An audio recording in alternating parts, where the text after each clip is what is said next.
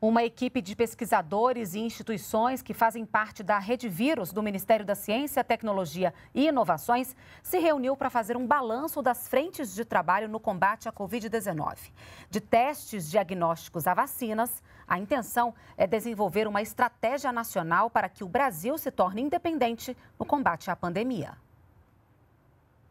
A rede vírus, criada em fevereiro do ano passado, funciona como um comitê de assessoramento estratégico que atua na articulação de laboratórios de pesquisa.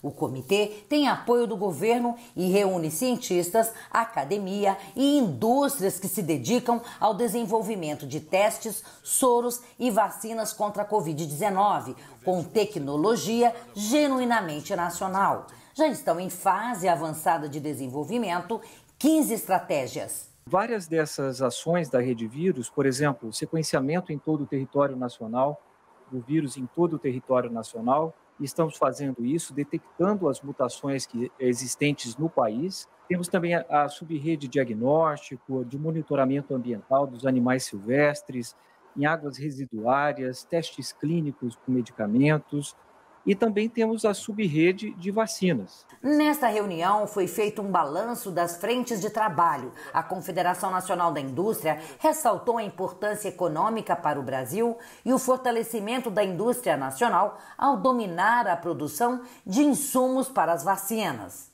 A ciência, tecnologia e inovação, esse ecossistema é importantíssimo para que a gente, de fato, possa fortalecer a capacidade nacional de produzir é, toda a linha né, de, é, que é necessária para que a gente possa vacinar a nossa população.